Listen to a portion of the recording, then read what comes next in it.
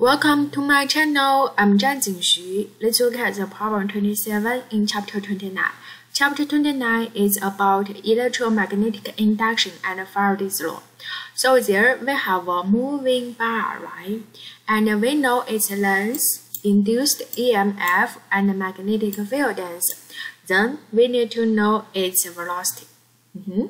So for this case we learned in our chapter, we know the induced EMF for the moving bar is BLV, right?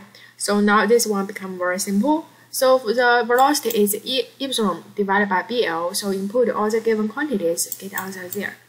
Thank you.